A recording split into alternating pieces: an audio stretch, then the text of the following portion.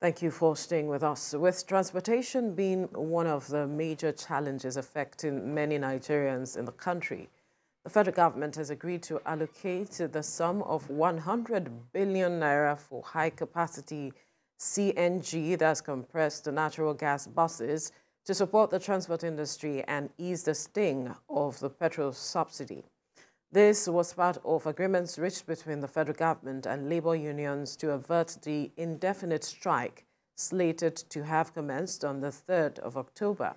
And the decision also includes the distribution of 55,000 CNG conversion kits to launch an auto gas conversion initiative while waiting for the ongoing construction of advanced CNG stations across the country.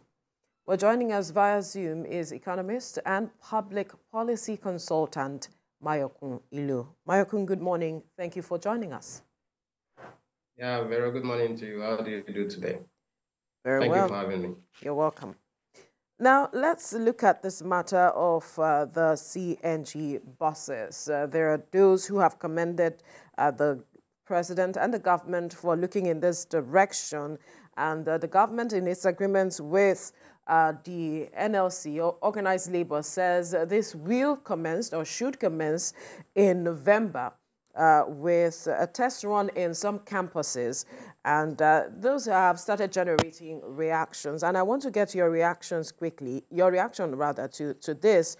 Although the, the Senate is coming out to say that um, uh, it's rejecting uh, CBN's loans with regards to this matter of uh, the CNG buses, the money needed to procure these buses, saying that uh, the government, the president should understand that uh, there is no room for extra spending, so to speak. So just help us situate all of these issues as you give us your perception of uh, this matter of the CNG buses. Well, uh, to every sane mind, looking at uh, the pros and cons of uh, energy industry in Nigeria, I think is a very good step in the right direction. Uh, that that is the the summation of it, because uh, uh, CNG powered vehicles are more efficient, they are cleaner, they are better for the environment, and they are even cheaper. So it's like having your cake and eating it at the same time. So uh, I think the government is trying. What I can only say is that there should be a speeding up of uh, the adoption process. Uh, it's good we are starting with about 55,000 kits or thereabout, but we, we what we are looking for is, is in the millions. Uh, those countries that are uh, that are the leading ones in terms of uh, using CNG powered vehicles are China, Iraq, India, Iran, and the rest of them. They are all not developed, they are developing economies. So Nigeria should join them, uh, reduce the cost of uh, fuel as, as, as we know it, and uh, make everything better off. As far as the Senate uh, is concerned, it's their duty to do oversight. I'm sure they can find uh, a way to work it within them between the presidency, CBN, and uh, and the legislature, so that they will find a way to to take the money. Yeah, I, I still think this needs to be subsidized, at least for adoption. The, the cost of uh, doing a vehicle is in the hundreds of thousands of naira at the moment. So, but there might be economies of scale if we bring it in in the hundreds of thousand kits, for instance. So the cost can come as low as 50,000 if uh, there are enough people uh, who are going to adopt it. And uh, even if the need is there, you can always make uh, some subsidy available for people so that within the next one year, within the next six months, they can pay off the cost of the conversion kit. And before you know it, everybody is happy, both the user and the government and uh, even the industry.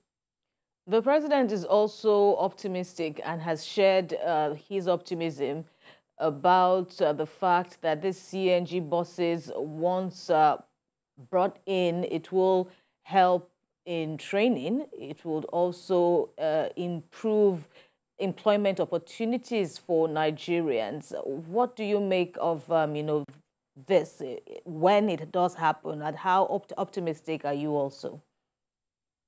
Uh, you know, I, I, understand where the president is coming from. He's talking about the value chain of the industry. When you invest 100 billion, it's not going into one person's pocket. If a portion of that money will go into buying those vehicles, for instance. A portion may be going into training the people are going to be working along the value chain. The people are going to doing the conversion kit. I won't be the one anyway. If my car is going to be done, I have to take it to a station where some people are already working or are going to be trained on how to work. Some people will invest once that they see that there's a market in that. So that 100 billion in the next six months can turn to 1 trillion naira as the private sector comes in and sees the market and uh, demand that they can lap onto and uh, make better for everybody. So it, it's it's really a, a good initiative. Uh, I think methane, which is the CNG that we are talking about, is about the cleanest fuel that anybody can get, and it's cheaper. And uh, you know, most of the journey we take is not for long distance. We should have make it uh, maybe the only disadvantage for it. But if you are working in Lagos or coming from Ogun to Lagos to work, you can always run on CNG buses because there will always be one station or the other that you can always refuel as the need arises. So the demand for normal uh, petrol fuel we we kind of go down, maybe by as much as 50% in the coming years. Uh, I've not run the numbers, but I know that this these are the, the things. I give you an example. In US now, Tesla brought a model of vehicle, how it's electric vehicle. Because everybody is now talking sustainability, the government said, okay, if you're going to be buying this electric vehicle and helping us in our sustainability initiatives, carbon zero and the rest of it, we will give you 7,000 rebates you know, that means government is paying part of the money of your vehicle for you. It's not because they like you or because they are doing for that Christmas, but they have done the numbers and run their projections that, okay, in the next 10 years, this will be an advantage to government because we are trying to reduce our carbon footprints in the world. Everybody is talking about 1.5 uh, degrees of energy going up and stuff like that, the temperature. And uh, it's a risk, a clear and present danger for everybody. So the whole world is in a concerted effort. You'll be hearing the word sustainability and the rest of it now banded around around the world because everybody is in this together. Uh, that the fact that we're in Nigeria, we are developing economy, does not mean we are immune from, from the problems of climate change. You've heard about the rain, you've heard about the, the storms and all the things that uh, NIMET and the rest of them have been talking about recently. So we should jointly support the government in this drive, uh, take the initiatives. NLC and TUC should ask for more if they need to, but their intention should be born out of a desire for national service and patriotism not partisan politicking. That's my thought. Right. So there's the aspect of the government is saying this is an immediate um, measure to addressing this matter of uh, fuel subsidy removal, but that uh, there's no structure in place uh, with regards to stations where vehicles, these vehicles, the gas-powered vehicles, will be getting the gas. Uh, there are no stations where this person's for conversions already put in place if government is saying this is to begin in November. And so there are those who are not seeing how realistic this is going to be at the end of the day. In fact, there are those who are also saying maybe the government should just go ahead and buy buses that are already uh, converted to to CNG uh, powered buses as against we looking to convert them in the country because there are no capable hands to actually carrying out these conversions. Well, uh, in the theory of innovation, there are early adopters, there are late adopters, and there are the mainstream people the the news here is not about the government buying buses. The news is about the government is kickstarting the process of uh, wide adoption. You know, government is a large player in any industry. So what they are trying to do is, okay, see what we have brought. See that the vehicles are reliable. Can you see that this thing is working? Now, can you bring your vehicles and we give you some subsidy so that you also will see the benefits that everybody is enjoying. So it's not really about uh, the 3,000 buses. Uh, if you look at the blue buses and red buses that we have in Lagos there, uh, you find out that they are maybe they are in the hundreds or in, even in the thousands. So uh, giving uh, maybe 100 per state is really a, a, drop in the ocean for Lagos. So I want to believe that Lagos state government will also now sit down and say, okay, since federal government is giving us 100, can we go with 500 of our own since we have the resources to do it? And at the end of the day, everybody, everything works. We should not believe that everything depends and rests solely with the federal government. Government can kickstart processes but what they are looking for is adoption. What they are looking for is private sector participation and collaboration mm. so that all these things work for us. It's not just about the money now, it's not about the people, it's also about the profit and the planet. So that the world we are living in will be better off. People can at least have, have a, a way of, of breathing. Like has been said, let the poor breathe. So this is one way of making the poor breathe by making transportation available to them. It's a form of subsidy, at least at the earliest start, so that at least people will now be in the position is okay, even my small car of uh, maybe 2.5 million, how much do I need to convert it to, to this? If you see your neighbor doing it on the right and on the left, there's a high chance that you also will be inclined to say, okay, let me try this CNG. I hope it's safe. They say it's safe. Six months later, instead of spending maybe 100,000 on fuel, you only spend 40,000. then nobody needs to tell you before you start becoming an apostle of uh, conversion to CNG vehicles. How about the matter of infrastructure in place needed ahead of uh, this, the arrival of the buses? Well, um, most times uh, there are cynics, there are critics. They don't see what government is doing. But I know it's been like three months that government has been talking about now. All the nuts and bolts of uh, the infrastructure are being put in place at the back end. We don't see it, you know. Uh, most people will always keep talking. They say it can't be done until it's done. Suddenly, we now hear that okay, these five places have been their mother stations, as they call them, where you know off takers will come and get conversion kits. The 55,000 will not be domiciled in the state. Maybe it's on the sea as I'm talking to you. Maybe it's in a warehouse somewhere in Apapa. Before you know it is cutting across all the states. That is the function of government. That's why we have bureaucracy, which is uh, ministries all, all across the state. So everybody that needs to be doing something, I'm sure they're already doing something. As long as the funding is there. When government talks about okay allocation of resources, these are the things that they are talking about. So you just wake up one day and say, okay, the first uh, 100 vehicles have been done. It's like a COVID shot. You know, all you need to do is to watch TV and they say, ah, this was the first person that took the COVID shot in the world. Then the next person that took it in, in Nigeria and the rest of it. So uh, since government has said in November, November is just a month away. Mm-hmm. We should just be patient and uh, even if it fails by a day or two, that doesn't mean that the government is not sincere. I'm sure at the end of the day, you know, down the line, everybody will benefit. It started like that with GSM. If you remember how we used to struggle with telephone, but now every Tom, Dick, and Harry has a phone, even two, three lines at the same time now. You, you spoke earlier about, um, you know, the government also intending some form of uh, privatization of, of, of this project. And already we are seeing bodies like the Manufacturers Association of Nigeria suggesting that um, the president or those that will drive this initiative should utilize uh, local manufacturers. Even Ipman is also speaking now, uh, urging the, uh, the president to utilize or urging the administration to utilize private depot owners because they are making a case for themselves that they have the capacity, they have the manpower. You know, what, what do you make of um, this, this interest? And um, in terms of workability and indeed this issue of capacity, what do you think? Well, I, I think they are, what they are saying is, is right, is they are right within the government space. Somebody said politics is the art of who gets what, when, and how. So if they play their politics right, they will get a, a piece of, of the pie as it were. But even outside uh, government telling you what to do or giving you some allocations, uh, the entrepreneurial people in any industry, my people in uh, Ladipo and the rest of them, you'll be surprised that they're already making moves. Mm-hmm. Everybody should not be waiting for government. Make your move independent of government, but make sure you are aligned with government policies as it were. So manufacturer association, even as they are talking within a group for their members, you'll be surprised that some of those members, the younger ones, because sometimes innovation comes from the fringes, some younger ones are already making moves. I've seen some guys in uh, in Lagos, in Alaba, and the rest of them who are already going to where they can import. And the moment they start to import, there's uh, what you call uh, forward and backward integration in uh, in business and economics. They will be integrated. It's, it takes an average Igbo man who is in this industry to see what has been done. Okay, these are like 10 parts. Which of these parts can we source locally? Give them six months, they will start to manufacture this thing locally. They don't, they don't need government to push them. But what government should do is to make sure that they regulate standards so that at the end of the day, it's not like you buy the Nigeria-made uh, cylinder for CNG and after three months the thing bursts and somebody is dead. So we don't want that kind of story. Let there be regulation, but let there be standards and there should be promotion of local endeavors. And that speaks to earlier to what you were talking about, about uh, this thing cutting across value chains in the country, creating employment that the president is talking about.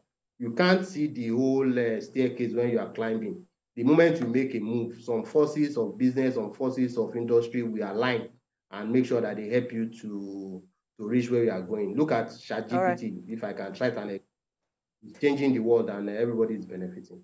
Uh, Michael, Michael, we need to quickly uh, go on a break. When we return, we'll continue this conversation with you. To stay with us.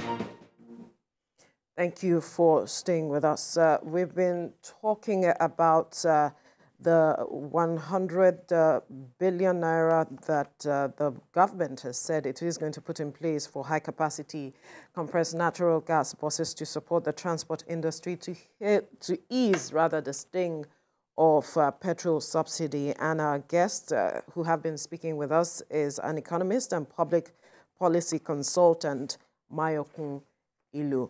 Mayokun, there's uh, this concern about implementation. There are those who are saying that um, gas is not just going to be, is not something that is used for only transportation alone, but we also know that it has domestic use as well, and that uh, government has to look at smartly executing this project. So I am wondering how you expect or what your impressions will be of how government should go about implementing this. Well, uh, good thing that, uh, you know, they say Nigeria is a country endowed with uh, so much crude oil. The narrative is changing to saying that Nigeria is a gas endowed country with some oil. You understand? That tells you the volume of gas we have in reserves. Mm. So if there's a reason why we should not be afraid, is because this is something God has blessed us with. Mm. We've been hearing uh, pipeline businesses, pipeline transportation for gas across the country, even going as far as Europe. So it's it's something that can be done. It's something that is doable, and uh, whether through cylinders or pipelines, gas can be compressed, gas can be sent to whoever needs it. So CNG is, is one of the best gases that we can use. Good thing it has uh, usage in different, whether in industrial or domestic settings and even for vehicular movement. So either way, it, it's a good thing. Uh, but government will have to do its own part, which they are doing, I believe, anyway. Yeah. Although there's always improvement. Make sure that the chain is tight. Make sure that incidences and accidents are reduced. Accidents are reduced to, to, to the BRS minimum within the industry because those are the things that scare people away when they hear of gas cylinders, when they hear of uh, explosions and the rest of it. But if we are careful, take care of the of the pennies and let the pounds take care of themselves. Regulations that are tight, that are industry driven, uh, best practices from all over the world, uh, policies that are aimed at sustainability and uh, remuneration, maybe for those working within the industry. We, by the end of the day, 10 years will be okay. It's not, it's not rocket science. We are not the innovators in this space. Uh, there are countries like China, 5.8 million vehicles run on compressed natural gas. If you go to Iran, it's about 4 million. Go to Iraq, go to India. These are the countries where you have millions. So when you hear 55,000, you just know that, okay, it's just a start.